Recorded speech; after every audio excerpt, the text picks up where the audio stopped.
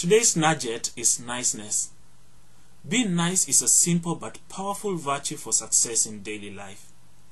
Nice acts are understood by everyone, regardless of cultural background or language barriers.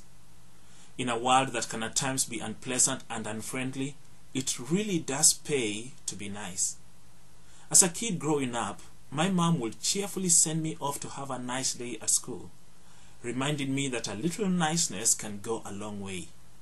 As an adult, I've found this to be the beauty of life, that when you are nice to people, they want to be nice back to you. There is real power in being nice. Niceness makes sense even for leadership. One cannot be a leader without being nice to people.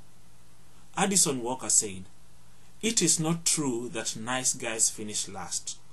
Nice guys are winners before the game ever starts. Have a nice day.